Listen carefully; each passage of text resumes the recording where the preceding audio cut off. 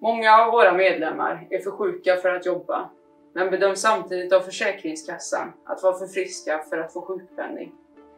Trots att läkare och Arbetsförmedling bedömer att medlemmarna inte kan arbeta, har Försäkringskassan motsatt uppfattning.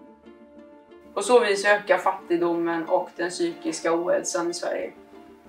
Vi menar att den som inte kan arbeta på grund av sjukdom eller funktionsnedsättning ska ha ekonomisk trygghet och den rehabilitering som behövs.